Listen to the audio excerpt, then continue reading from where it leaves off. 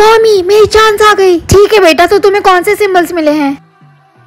Square triangle और एक circle जैसे दिखने वाला शेप पर ये सर्कल नहीं है। ओवल उसे ओवल कहते हैं। चलो अब अच्छे से इन शेप्स को याद कर लो। बिल्कुल वैसे ही जैसे हमने प्रैक्टिस की थी।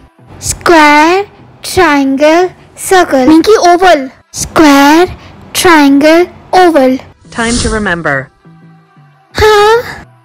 स्क्वायर ट्रायंगल ओवल हाँ बहुत अच्छे मिंकी बेटा। ध्यान रहे कि तुम्हें ऐसे ही हमेशा उन शेप्स को याद रखना पड़ेगा, जो तुम्हें याद करने को दिया जाएगा, ठीक है? पर क्या होगा? अगर मैंने इसे गलत कर दिया तो? अगर ऐसा हुआ तो तुम अपनी याददाश्त खो दोगी। मम्मी, मैं घर आ गई। तुम कौन हो और तुम अंदर कैसे आई? मम्मी रिलैक्स ये मैं हूँ मिंकी आपकी बेटी। मेरी कोई बेटी नहीं है, मुझसे दूर रहो। मम्मी, क्या आप मेमोरी गेम में हार गई हैं? ये मेमोरी गेम क्या है? चिंता मत करो हम तुम्हारी मम्मी का अच्छे से ख्याल रखेंगे और तुम जब चाहो जितनी बार चाहो उनसे मिलने यहाँ आ सकती हो। बस तुम उनको पिछली किसी भी बात से याद नहीं रहोगी पर वो तुम्हें फ्यूचर में जान सकती हैं। मिंकी तुम्हारी मॉम कैसी हैं? बस उतनी अच्छी जितना अच्छा कोई अपनी यादाश्त खोने के बाद हो सकता है। हाँ क्या हुआ? मेरा मेमोरी गेम ये बहुत बड़ा है। Square triangle oval square Minky तुम ये कर सकती हो। Square triangle yes Minky come on क्या तुम अपना मुँह बंद करोगे क्योंकि मैं कॉन्सेंट्रेट नहीं कर पा रही हूँ. कैस करने का टाइम आ गया. Square triangle oval square oval star rectangle हाँ मैंने इसे पास कर लिया। Good job, Minky. मुझे पता था कि तुम ये कर लोगी। पर मुझे आज से पहले इतना लंबा टेस्ट कभी नहीं मिला। मैंने सुना है कि इस साल वो लोग इस गेम को दस गुना ज़्यादा टफ कर रहे हैं। पर क्यों? क्योंकि गवर्नमेंट को लगता है कि हमारा ब्रेन लेजी होता जा रहा है और ये बस उनका एक तरीका है हमारे लोगों को स्मार्ट बनाने का। वो दिन दूर नहीं है जब उनके खुद के वर्कर्स की यादाश्त चली जाएगी, क्योंकि ये गेम बहुत हार्ड है। सब सामने से हटो। छोड़ो मुझे। हाँ ये चिड्डी रैम को क्या हुआ? ज़रूर वो मेमोरी गेम में पास नहीं हो पाई होंगी। हाय मॉम मुझे पता है कि मैं आपको याद नहीं हूँ पर मैं आपकी बेटी हूँ और मैं आपके लिए वनीला शेक लाई हूँ क्योंकि मुझे पता है कि आपका फेवरेट है। आपको याद है कि आपका फेवरेट है? क्या आपकी यादाश्त वापस आ रही है? नहीं नहीं सॉरी मैंने तो बस गैस किया कि तुम इसके बाद क्या बोलने वाली हो तो मैंने वही बोल दिया। ओह कोई बात नहीं। अब तुम्हें यहाँ से जाना चाहिए। मैं यहाँ नहीं रह सकती। नहीं नर्स उन्हें थोड़ा वक्त दो वो तुमसे घुल मिल जाएँगी। उनके लिए भी तुम्हें याद न रखना उतना ही मुश्किल है जितना तुम्हारे लिए। हाँ। पर मुझे लगा कि उन्हें चीज़ें याद हैं। Square circle triangle star memory game हाँ और मुझे लगता है कि मैंने सही गेस किया है। हालाँकि मुझे इस बार बारह सिंबल्स मिले थे याद करने के लिए। बारह? ये तो हाथ से बाहर निकलते जा रहा है। रोजी तुम कहाँ जा रही हो? रोजी तुम कौन हो? और ये रोजी कौन है? तुम हो रोजी। चलो मुझे बताओ कमॉन तुम मज़ाक कर रही हो ना? रोजी कमॉन मैं तुम्हें भी नहीं खो सकती। डोंट टच मी हटो यहाँ से।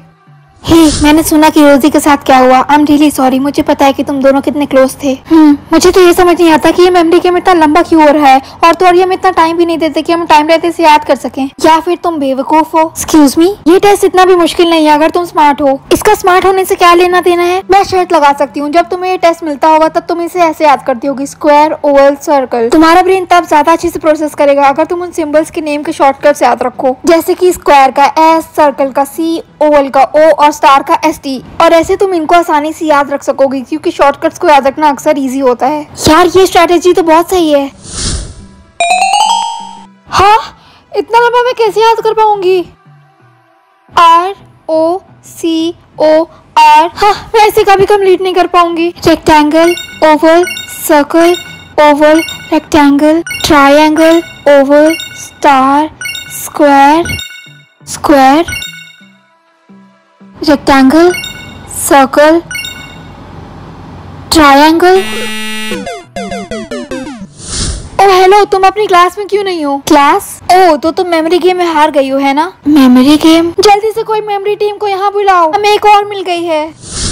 तुम अपने मॉम के साथ एक ही रूम में रहोगी तुम भी उनको याद नहीं हो पर हो सकता है कि तुम दोनों की बॉन्डिंग हो जाए। तुम्हारा नाम मिंकी है और इसमें तुम्हारे पास के बारे में सारी इंपॉर्टेंट इन्फॉर्मेशन है। तुम्हें अभी भी लिखना पढ़ना आता होगा।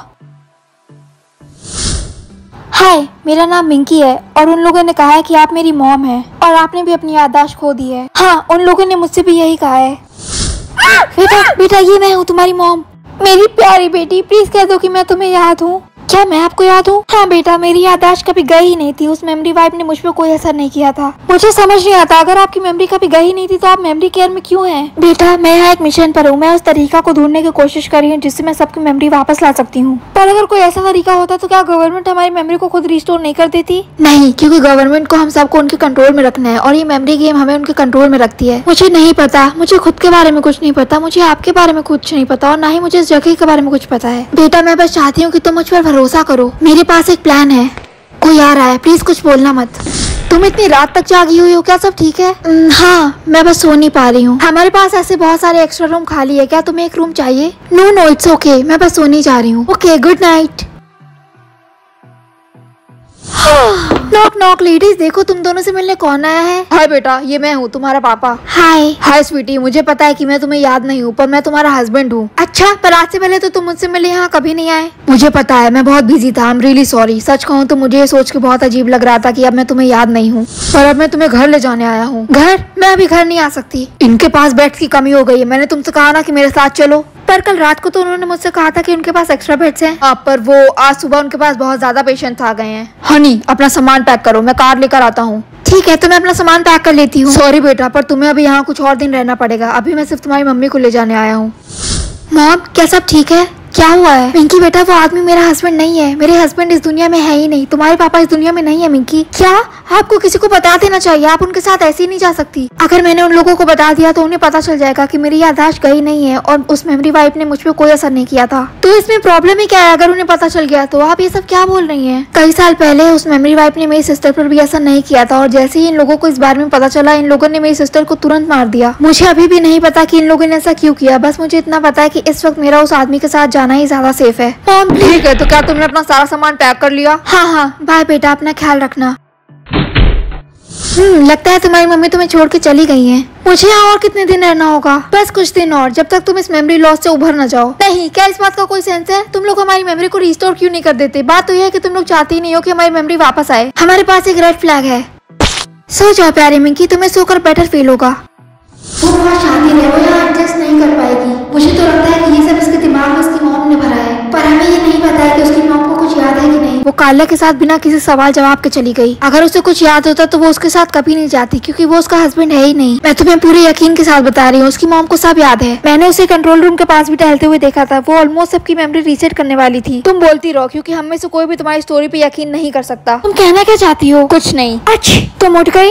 क्या तुम्हें कुछ चाहिए? मुझे भूख लगी है। ठीक है, हम तुम्हारे लिए कुछ खाने को लेकर आते हैं। मुझे उस कंट्रोल रूम को ढूंढना होगा। हाँ, आधी रात हो गई अब तक तो सब सो गए होंगे।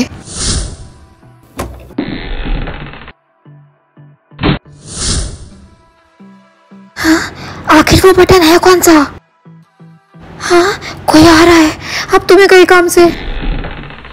मॉम बेटा क्या तुमने उसे रीसेट किया? नहीं आखिर वो बटन है कौन सा? ये वाला। आह! ओ बेटा क्या तुम ठीक हो? हाँ सब वापस आ रहा है। मुझे सब याद आ गया। अब हमें यहाँ से बाहर निकलना होगा। इससे पहले कि कोई यहाँ आ जाए और उसे पता चल जाए कि हम ही है वो जिसने सबकी मेमोरी रीसेट की है। पिंकी, रोजी, क्या तुम यकीन करोगे किसी ने मेमोरी गेम को रीसेट कर दिया? नहीं, मैं तो ऐसा सोच भी नहीं सकती बट थैंक गुडनेस कि उसने ऐसा कर दिया राइट हाँ पर गवर्नमेंट बहुत गुस्सा है। वो पूरी कोशिश कर रहे हैं उस इंसान को ढूँढने की जिसने ऐसा किया है। और एक बार उन्होंने उसे ढूंढ लिया तो वो तो गया काम से। हाँ आई एम श्योर वो इंसान इस वक्त बहुत डरा हुआ होगा। बिल्कुल। कम ऑन चलो अब क्लास में चलते हैं।